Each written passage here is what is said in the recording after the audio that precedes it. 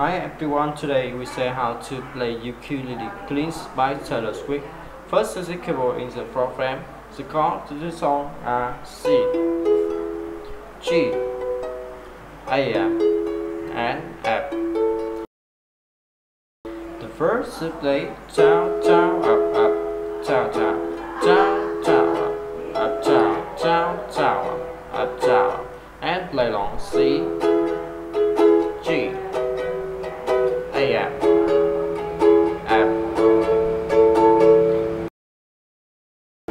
This is a pre-chorus to play Ciao Ciao Up Ciao Ciao Ciao Up Ciao and play long G F G F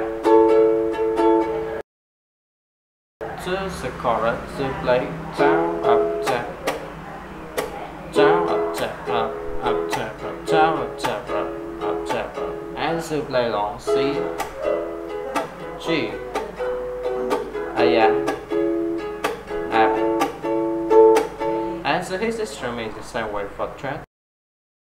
To surprise to play down, down, up, down, down, down, up, down, and play long C.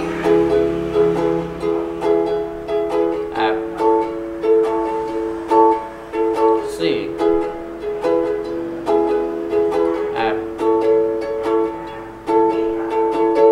As the hit system is the same way for track. Thank you for watching and see you again. Bye bye.